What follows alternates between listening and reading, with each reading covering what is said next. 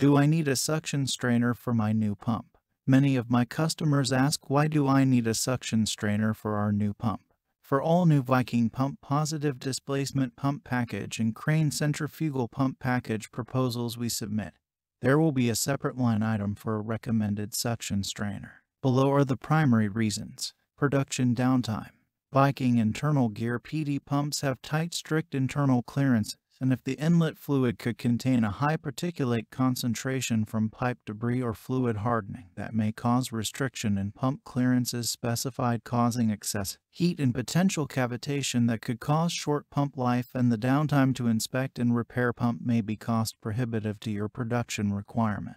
A suction strainer is a relatively inexpensive item compared to cost of new or repaired pump and should be considered as an insurance investment. Centrifugal pumps that have enclosed trimmed impellers can also see blockage with potential same outcome from cavitation or short pump life from heat bearing failure. An inlet suction basket strainer or Y strainer can be supplied with several filter mesh liners for specific size particulate seen.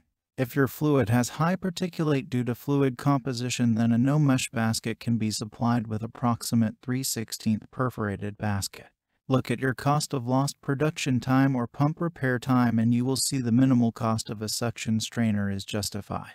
Fluid product FORMULATION, DEGRADATION. Many fluids may be harmed from pipe scale seen on inlet of pump or from the pump bushings or other internal pump parts that contain carbon or iron.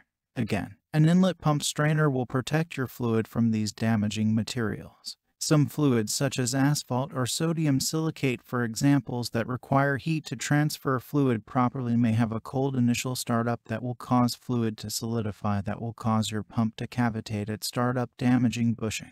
Restrict pump clearances causing excessive heat and cause premature pump failure. These fluids typically use or require a no mesh or perforated basket strainer. Viking Pump has partnered with Eaton strainers for inlet simplex and duplex strainers with many different materials of construction and port configurations.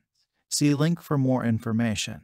Viking LIDEASE strainers is a proven simplex suction strainer supplied for many years has an easy opening cover is another option. See link for more information. If your production process cannot allow downtime to clean or replace internal strainer baskets then the Eaton Duplex strainer is best recommended option. If you consider your fluid a clean fluid and inlet piping not an issue then a suction strainer may not be needed.